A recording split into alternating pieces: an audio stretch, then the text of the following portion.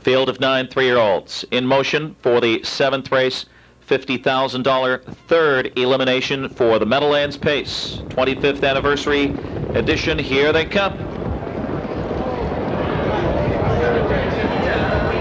And Oaks Enforcer out of there as Exporter is being urged on. Extreme outside, I've got Life and Sundried on the rail, cuts the corner. Ledford's got the pedal down there and the whip out around the first turn. It's Sundried. Sun-dried to the front. Exporter slides in second. Ameripan Gigolo got away third. Oaks Enforcer going up fourth on the outside. I've Got Life is fifth to the quarter mile. Real Desire is sixth at this point. Gambler's Dream is seventh. Full of Fun is eighth. He's all that is ninth out there wheeling by three lengths, 25 and four. Amazing opening quarter mile for the long shot here. Sun-dried at 18 to one. Ledford trying to rein him in and throttle the speed here. Exporter second. Here comes I've Got Life on the outside third. Ameripan Gigolo is fourth. Real Desire starts up fifth on the outside. He's advancing steadily with Gambler's Dream in the outer flow, going up there full of fun. Then it's Oaks Enforcer dropping back, and he's all that at the half. I've got life in 53 and 4, and they are smoking. I've got life, and Miller takes over. Sun-dried now back in second. Real Desire left uncovered, continues to inch his way up. Gambler's Dream following his cover, fourth on the outside. Exporter begins to gap on the rail. Full of fun, looks full of pace. He's third over and following the cover. Off the cones comes Ameripan Gigolo trying to rally into it. Here comes Real Desire first up, and he pounces on uh, I've Got Life, three quarters, 121 and three, and Real Desire starts to draw clear here. It's Real Desire on the far outside, full of fun, reaching up into second. Gambler's Dream is full out third to the wire. Real Desire has shown up here at the Big M. It is Real Desire. He is home in 149 and four. Full of fun was second. Ameripan Gigolo third. Number three, Real Desire, three-year-old bay colt by Life Sign out of Deadly Desire by Troublemaker, owned by the Brittany Farms. Robert Burgess, Peretti Farms, and K. Olson Burgess.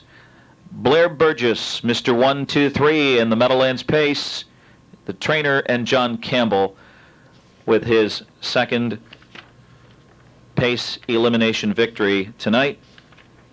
The mile was 149 and 4 fifths eclipsing his own personal mark by a full second here at the Big M tonight and vaulting over a half million dollars in career earnings, the fastest two-year-old of 2000 setting a world record of 150 and 4 at Lexington's Red Mile, rated number one in the experimentals. And as we mentioned, trainer Blair Burgess has had a 1-2-3 finish in the Meadowlands pace.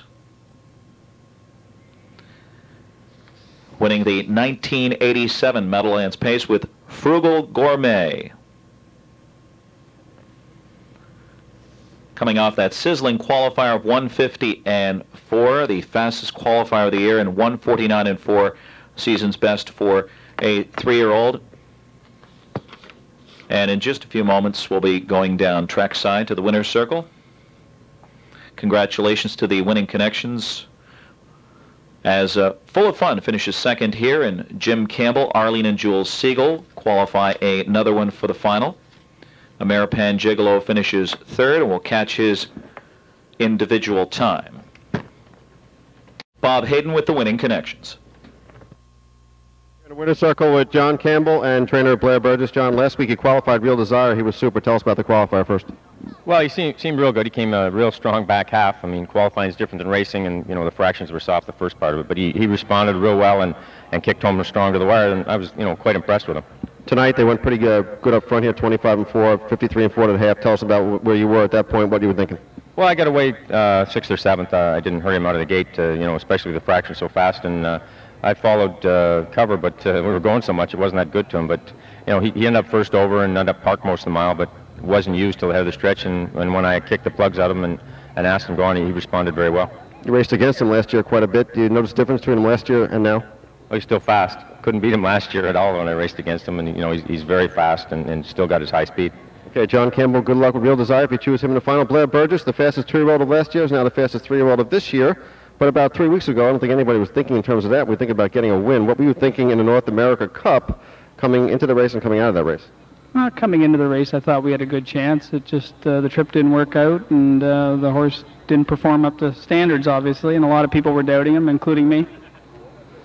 You came back here last week. You qualified. I asked you what you did. You said you didn't train him at all, and just to try to get him happy. What about this week? Same thing, same deal. He had a real easy week. Um, my wife was down here with him and just jogged him up all through the week, and he's eating a lot better, and he seems to like it here.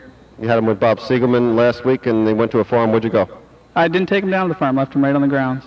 Okay. Now, uh, Real Desire. What does this week look like coming into the uh, into the Meadowlands Pace Final? How's the training going to go? Same thing. Won't change a thing. Can't change anything right now. It uh, seems to be going in the right direction. Did he? Is it possible he just needed the first three or four starts to work out the kinks? It's possible, but I, I thought I thought he form, performed really well. In the eliminations of the Cup, he was very good. He was three high in the last turn at Woodbine, and that's tough. And he still was closing hard at the end, and, and I think he was on key there to do well. It's just the trip didn't work out. And his attitude good? His attitude's very good right now. Okay, Blair Burgess, you won this race in 87. You're back this year in 2001. Real Desire, one of the horses to beat in the Meadowlands Pace Final.